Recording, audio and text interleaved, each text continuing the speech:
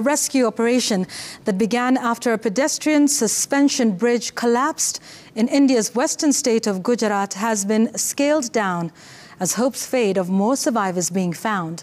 Officials say 141 people, most of them women, children, and the elderly, died after the bridge collapsed on Sunday evening.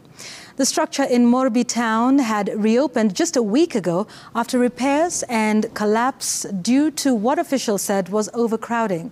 Police are now questioning eight people in connection with the incident, including security personnel and ticket sellers. Concerns have also been raised about whether safety checks were done before the bridge was reopened.